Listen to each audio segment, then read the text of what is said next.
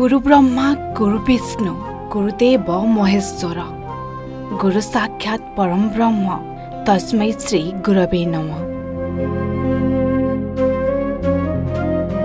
ଗୁରୁ ମଣିଷ ରୂପରେ ସେ ଭଗବାନ ଅନ୍ଧାରରୁ ଯିଏ ଆଲୋକ ଦେଖାନ୍ତି କଣ୍ଟକିତ ପଥକୁ ଯିଏ କୋମଳମୟ କରିଦିଅନ୍ତି ଆମ ଭବିଷ୍ୟତ ପାଇଁ ଯିଏ ଦିନ ରାତି ଏକ କରିଦିଅନ୍ତି ଅଜ୍ଞାନ ରୂପକ ତିମିରକୁ ଯିଏ ଜ୍ଞାନର ଆଲୋକରେ ସଜାଇ ଦିଅନ୍ତି।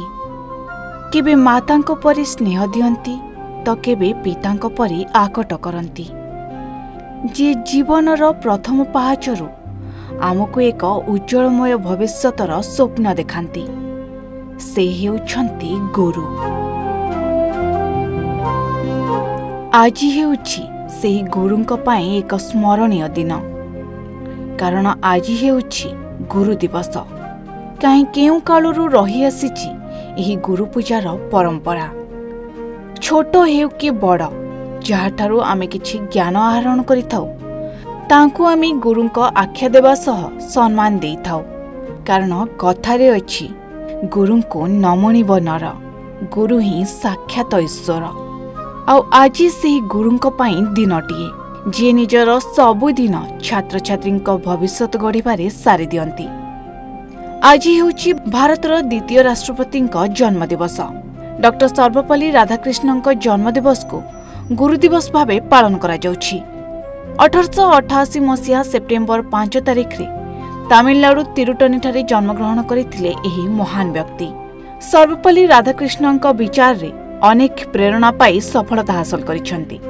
ଆଜି ସେହି ମହାନ ଜନନାୟକ ଉଦ୍ଦେଶ୍ୟରେ ଦେଶବାସୀ ପାଳୁଛନ୍ତି ପବିତ୍ର ଗୁରୁ ଦିବସ ଏହି ଅବସରରେ ବିଭିନ୍ନ ଶିକ୍ଷାନୁଷ୍ଠାନଗୁଡ଼ିକରେ ଛାତ୍ରଛାତ୍ରୀମାନେ ଗୁରୁଙ୍କୁ ଦେବତୁଲ୍ୟ ଭାବେ ପୂଜାର୍ଚ୍ଚନା କରନ୍ତି।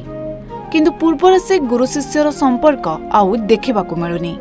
ଗୁରୁ ଦକ୍ଷିଣା ଦେବାକୁ ଯାଇ ଶିଷ୍ୟମାନେ ନିଜ ଜୀବନକୁ ମଧ୍ୟ ବାଜି ଲଗାଇ ଦେଉଥିଲେ। କିନ୍ତୁ ଆଜିର ସମାଜରେ ଆଉ ସେ ଗୁରୁ ଶିଷ୍ୟର ସମ୍ପର୍କ ଦେଖିବାକୁ ମିଳୁନି। ଗୁରୁ ଦକ୍ଷିଣା ଦେବାକୁ ଯାଇ ଏକଲବ୍ୟ ନିଜ ଆଙ୍ଗୁଠି କାଟି ଗୁରୁଙ୍କ ପାଦ ତଳେ ସମର୍ପି ଦେଇଥିଲେ। ସେହିପରି ଆରୁଣୀ ମଧ୍ୟ ଗୁରୁଙ୍କ କଥା ମାନି ସାରା ରାତି ହିଡ଼ରେ ଶୋଇ ପାଣି ରୋକିଥିଲେ। କିନ୍ତୁ ଏ ଗୁରୁ ଶିଷ୍ୟର ସମ୍ପର୍କ ଆଉ ଦେଖିବାକୁ ମିଳିବନି।